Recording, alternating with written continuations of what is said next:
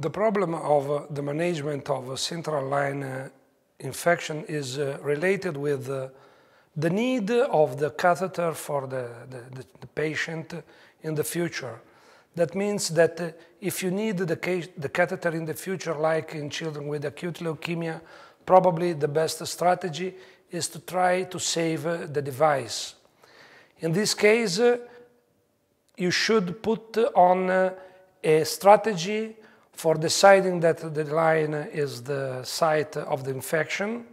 and then to find which is the best treatment for your patient. The strategy for the decide that the, that the catheter is the, the, the font of the infection is based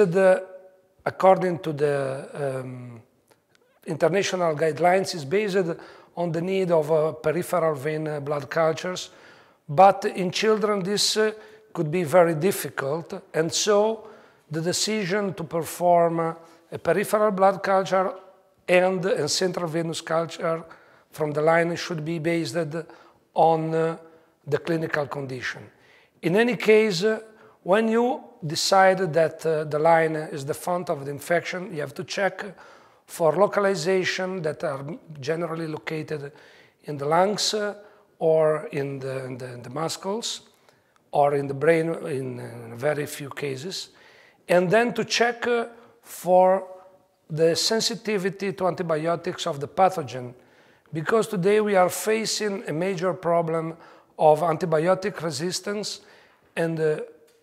the data that uh, were available for deciding the treatment in the past could be not uh, uh, the right uh, could be not give to the right choice today. I mean, for example, that uh, uh, staphylococci like Staphylococcus aureus or uh, coagulase negative staphylococci may be not only resistant uh, to methicillin and so require vancomycin for treatment,